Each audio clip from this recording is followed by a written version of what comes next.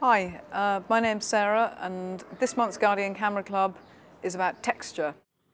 Texture is something I try and be constantly aware of and constantly try and notice new things with interesting textures and think of ways to make them work within different types of images. For example, this patch of wall here that we found rather conveniently um, by the canal has lots of things in it that I find interesting. The texture is great. Brickwork is something that I use a lot and is, to be honest, a little bit of a get out of jail free card uh, for trying to make a picture more interesting in an otherwise unprepossessing area.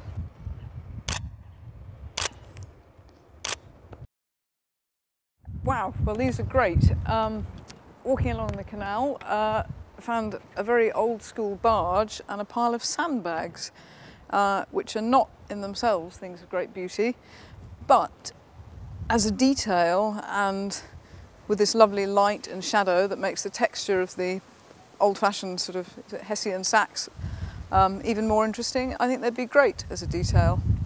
They wouldn't be particularly interesting to help with a portrait, but they certainly would if you were shooting a story. Texture would illustrate details. It'd be very nice as part of a set with wider shots to illustrate a context and then close-ups that kind of really give a feel of the uh, subject. Actually, I've just noticed another example of uh, how texture could be used for details as part of a story. The light hitting this rope reflecting from the um, water, you've got really nice light um, and sort of the texture of the greasy film on the water and the old gnarled up slimy rope. The rope is even less beautiful than the sack actually, but you get a really good example of how awareness of texture can elevate something uh, to hopefully being a good photographic example of texture illustrating a story. Obviously the natural world is as full of interesting textures as the man-made one um, and you'd photograph them in different ways and for different reasons. Black and white photographs are purely about how the texture works and how the light works with the texture. These are colour photographs and uh, you're considering the different greens and the way the light affects the colour. I think it would work best actually, um, maybe with a sort of mid aperture so you can see both the texture of these sort of dead buds and you know the shape of the leaf and the rather aggressive red thorns.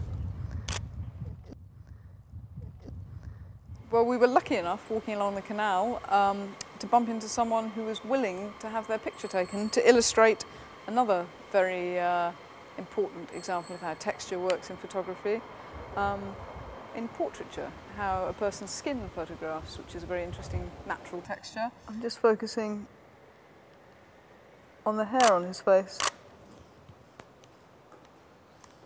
for a detail. In fact, this might work quite well with anonymous portraiture if you were trying to give a sense of a person without revealing their identity, which you sometimes need to do with newspaper photography.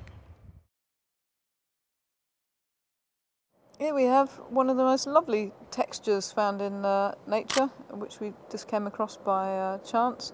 A beautiful spider web, um, which is obviously light reflecting and sort of silky in texture.